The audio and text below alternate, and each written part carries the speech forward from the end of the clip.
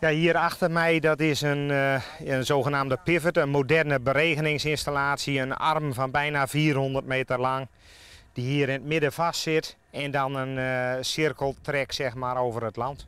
Ja, het water komt uit een bron. Deze bron die zit ongeveer 65 meter diep in de grond.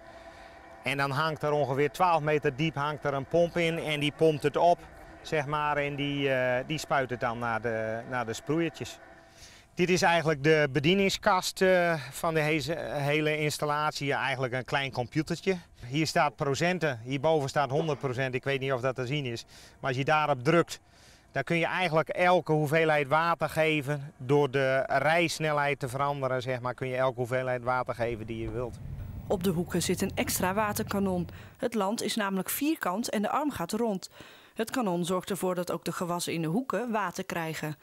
Boer Bartels heeft het apparaat zo ingesteld dat hij er rechtsom vijf dagen over doet en linksom terug naar het beginpunt duurt maar een halve dag. Nou, er zijn een aantal voordelen. Uh, het eerste is dat elke druppel die je hier spuit ook op de goede plek komt. Dus heel efficiënt met water omgaan.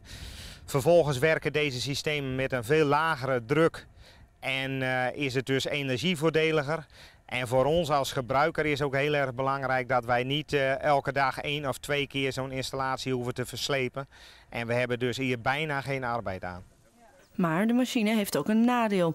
Een klein hoekje van het land krijgt namelijk geen water.